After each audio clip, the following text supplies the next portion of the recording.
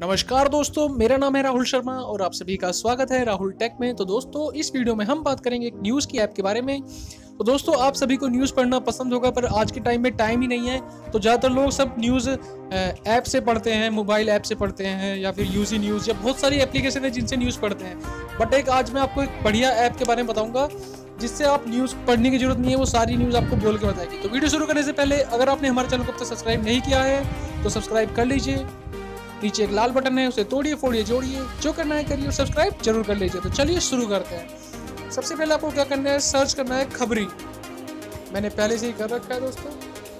ये है दोस्तों, वो ऐप आपको इसे डाउनलोड करके ओपन कर लेंगे ओपन करने के बाद ये आपसे लैंग्वेज पूछेगी, कौन सी लैंग्वेज में करना है? तो ये आप इंग्लिश या हिंदी कर सकते हैं। उसके अलावा, यहाँ पे सभी समाचार इंडियन या फिर बॉलीवुड या फिर खेल समाचार तो हम कभी खेल समाचार देखते हैं। तो ये खेल समाचार आ रहे हैं आईपीएल से रिलेटेड प्ले कर देते हैं।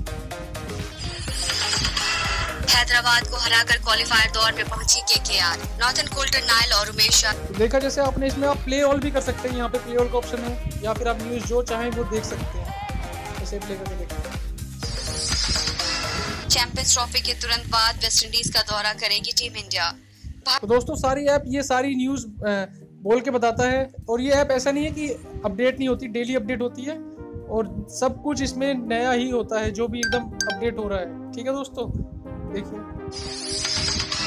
शरद पवार ने विपक्ष का उम्मीदवार बनने से किया इन... दोस्तों आशा करता हूँ ये एप्लीकेशन आपको पसंद आएगी। अगर पसंद आए तो लाइक शेयर कमेंट और सब्सक्राइब तो ज़रूर करना है। Thank you very much love you all जय हिंद जय भारत